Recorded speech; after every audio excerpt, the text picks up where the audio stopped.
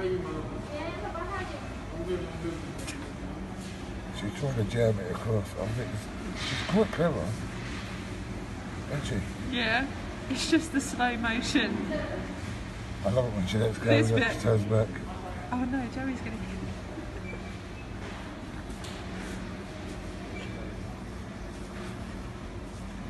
Yeah, me.